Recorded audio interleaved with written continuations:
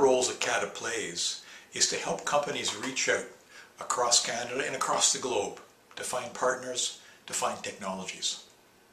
It's for that reason that we're involved with the NG Connect program, founded by Alcatel-Lucent.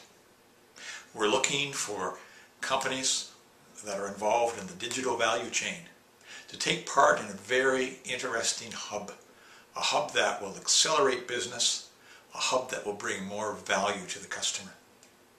So have a look at the details of the NG Connect program. And if it's a fit, get in contact with us and we'll work with you to advance your value proposition and to advance innovation and customer value in Canada.